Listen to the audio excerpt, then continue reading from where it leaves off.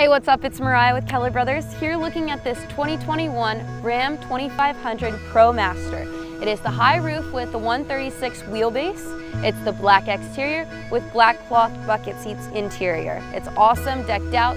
You have fog lights in the front. You have the 260 degree um, doors. You've got plenty of space in here with the high roof. I am short, but it still is spacious. You have your door here to the main cabin. Got some comfy seats in here with your armrest here. Um, you do have a telescoping steering wheel, so when you reach your hand down here and lift that, it goes in and out, so you can adjust as you please. Push that back down to lock it into place.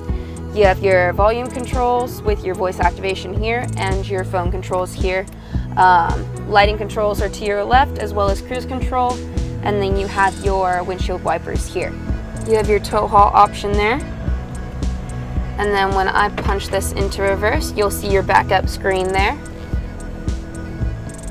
You have the 260 degree doors, so it'll stop right there. When you press it, it'll go another notch, and it keeps going. This looks like it'll do everything you need it to, whether it's a build-out home, commercial vehicle, personal vehicle, you got the shelves and the space in the back, go ahead and hit the contact us or the chat now feature on the website or give us a call and one of our product specialists can help you further. Thank you so much for watching and I hope you have a wonderful day.